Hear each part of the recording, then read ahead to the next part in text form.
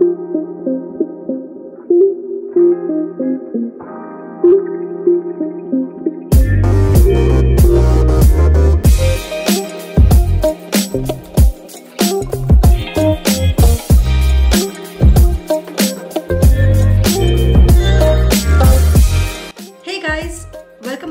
studio.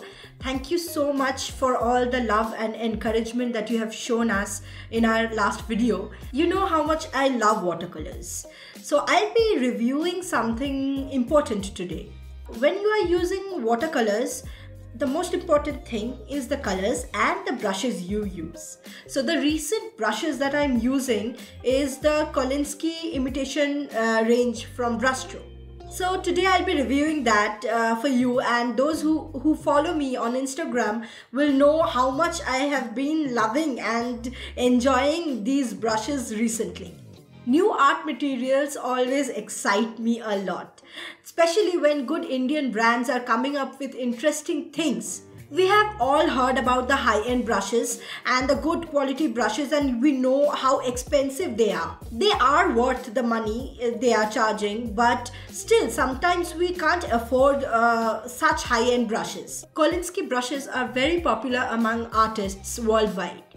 They are made from the hair of a certain kind of weasel and they are handmade. And that is why they are very costly. Now, Brustro has come up with uh, their own range of uh, the imitations of Kolinsky brushes and they are cruelty free and synthetic. What I generally see in brushes are how they perform. Uh, not the cost or not the brand. I just see how they perform, how they hold water and how they are smooth and soft. As I said in the beginning of the video, if you have seen me in my social media platforms, I have been ranting about this a lot. The first one among the three that I'll be talking about today is the Angular one. It's a size 4. So I generally keep this packaging uh, plastic on because it keeps my brushes safe. This angular brush uh, is very versatile. It gives a huge range of strokes which is interesting. I use it for watercolors, for gouache, for acrylics but I wash it very well after every use. These brushes generally give such good lines and different kind of lines actually. This is a very thick stroke. This is the maximum I can get from this brush. And then this is the thinnest one I can manage right now. So this is how a single brush can provide you with so many different kinds of strokes it's amazing when you use it for gouache and you want to give it give your painting some texture some characteristic. These brushes generally hold a good and a generous amount of water which is really something worth appreciating. For those who like using such brushes must must go for this one. This is something i would really recommend. The next one is a size 2 from the same range of brushes. This is a comparatively thinner brush and I use it generally for filling up smaller areas. It, it also holds a good amount of water which I really really like. I get different kind of strokes from this too and uh, a round brush is always good to have. These brushes have a very thin tip and a stiff tip which is actually good for watercolor brushes. When you're painting and it holds a good amount of water and you can draw like this thin line and you can go on with it go on with it and the brush will provide the water you need.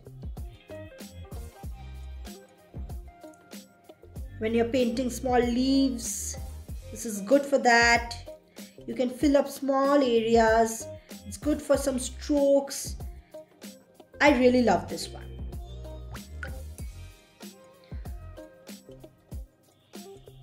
I wish I just got some more size ranges from this round brush range.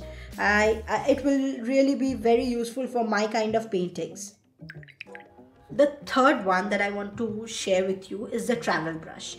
Trust me, I love carrying my things wherever I go and I love painting uh, when I travel when I, I I like keeping my things in my bag. When a brush is travel friendly and it comes with a lid like it's it's heaven for me.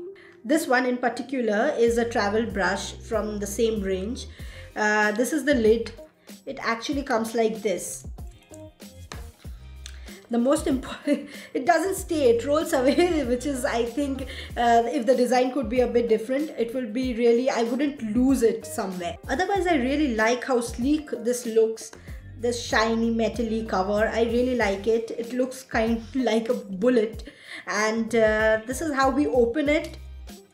And now the brush seems too small but uh, the fun thing is you can just attach the brush with the lid so it becomes like a long handle brush which is easier to use definitely. So this is a size 6 brush. Uh, the sad part is this only comes in size 6 now. And uh, I hope they come up with some new range of size and the type of brushes for this uh, travel brush um, thing. Uh, this page is quite messed up so let me take a new page so what I was saying is this brush holds a very good amount of water. So when I'm taking the paint, it's I can go with really, really uh, light shades.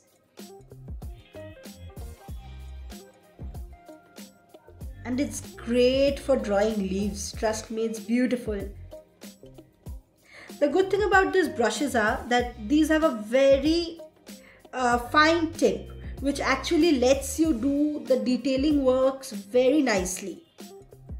It's very easy to come up with really thin lines, thin strokes, small strokes, which is very important uh, for me when I'm illustrating or I'm painting. Just like the other brushes, this also provides a huge variety of strokes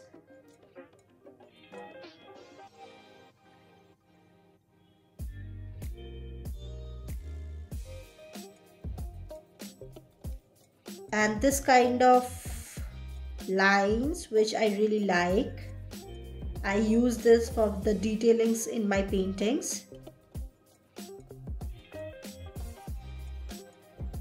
and still I can go with this kind of strokes which is very interesting and this happens because of the amount of water it holds. It's very important for good brushes, for good watercolor brushes to hold a generous amount of water.